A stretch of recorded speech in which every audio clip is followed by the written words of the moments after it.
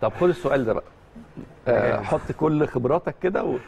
في الوقت اللي سمعنا إنه بيريز مكسر التليفونات على خليفي عشان يشتري ورفعه يعني بيقال ان الصفقة وصلت ل 200 مليون يورو عشان يخلص في مبابي. رفض تام من آه، على الرغم إنه السنة الجاية يمشي ببلاش يعني.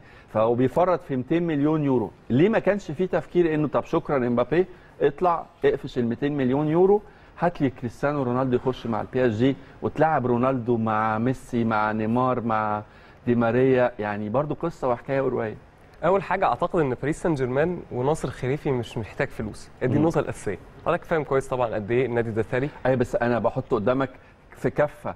رونالدو معاه 200 مليون يورو وفي كفة تانية مبابي. يعني مع كامل احترامي لقدرات ومهارات وإمكانيات مبابي يعني. قراري الشخصي طبعا كنت اخد 200 مليون يورو ولكن أعتقد هم بيبصوا لها بنظره الكرامة أنا مش هبيع كيليان إمبابي. عايز السنة الجاية أخده free والحقيقة إنه فعلا اتقدم ثلاث عروض لكيليان إمبابي كل مرة يجدد وبيرفض. آخر واحد وصل 45 مليون يورو في السنة أيوة. أعلى من ميسي ونيمار.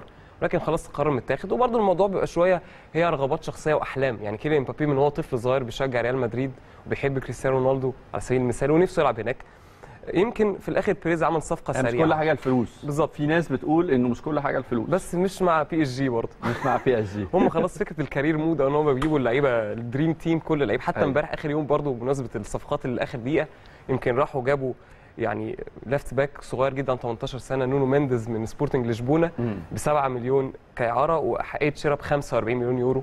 الصفقة اللي كان داخل فيها مانشستر سيتي برضو. هو السنة دي فعلا. صفقه تبادلية أعتقد بالظبط. راح من عندهم. سارابيا راح. إعارة وهو جه إعارة. آه. لكن هم فعلا كده قفلوا اللعبة. يعني الصيف ده هم الأنجح هم الأذكى. ليوناردو يتعملوا تمثال هناك وعملوا في- بالنسبة لي كل التدعيمات المطلوبة ولكن هي مسألة كرامة ومسألة مبدأ أيوة. أعتقد بالنسبة لنصر خليفي وكمان هو ما عندوش option هو عمل كل ده عشان يكسب Champions League السنة دي مش هيكسبها يا دكتور وليد مش إن شاء الله مش هيكسبها مش هيكسبها يا دكتور وليد فما كانش عنده لو جاله مليار يورو في إمبابي هو ده- هو متخيل إنه هيلعب الهجوم إمبابي نيمار عندنا مجموعة نار فيها سيتي وبي اس جي مع بعض آه. يعني يوم آه. 15 فرجة. الناس. آه، اظبط ال reminder بتاعتك دلوقتي يوم 15 ضرب نار وعندنا البايرن والبارسا كمان هنتكلم آه على طبعاً، مجموعات طبعاً. دلوقتي. طيب اتكلم شوية عن جريزمان. يعني برضو صفقة ما كانتش متوقعة ولا في الحسبان إنه جريزمان في اللحظات الأخيرة يتحرك من برشلونة لأتلتيكو مدريد يا امين هي ال dominoes effect المشهوره إن لازم لعيب يفضي مكان للتاني.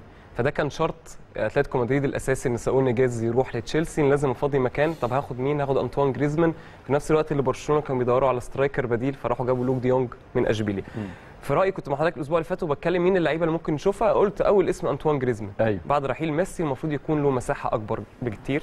وأنا شايف إن ده قمة الفشل الإداري عند برشلونة. مم. إن أنت تكون لسه جايب لعيب من سنتين ب 120 مليون يورو والنهاردة تروح ترجعه تاني لنفس الفريق اللي اشتريته منه ب 40 مليون بس كده option to buy ومديه عرض سنتين ببلاش فده قمة الفشل. أنت بس بتحاول طبعا توفر المرتب. صفقة رائعة بالنسبة لأتلتيكو مدريد اللي عمالين بيحسنوا الفريق بتاعهم. ماتيوس كونها كمان من الدوري الألماني رودريجو دي بول من أودينيزي في نص الملعب. صفقات بشكل عام في رايي إن أتلتيكو مدريد بيحسن فريقه بشكل كبير وفي نفس الوقت ساول نيجيز مش هيأثر على الفريق لأنه بقاله أكتر من سنة عايز يخرج واتجاهه لتشيلسي ده بيحسن طبعا وبيقوي فريق تشيلسي أكتر اللي بشوفه أنا شخصيا إنه مرشح رقم واحد في البريمير